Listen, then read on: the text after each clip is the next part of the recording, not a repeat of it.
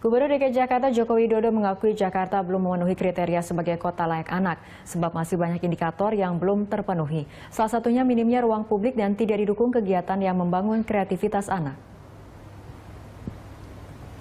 Meski tidak mudah, program Jakarta Layak Anak secara bertahap dijalankan, misalnya disediakannya area bermain anak di area publik, seperti halnya di Kecamatan Penjaringan, Jakarta Utara.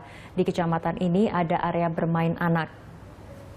Diharapkan Kecamatan Penjaringan ini bisa menjadi stimulus bagi pejabat Pemprov lainnya untuk menyediakan area bermain anak seperti ini.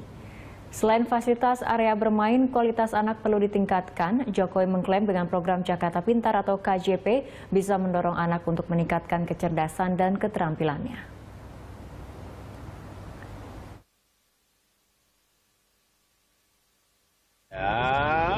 Kalau di sini ruangannya cukup, tapi ada di beberapa kecamatan yang ruangannya nggak cukup.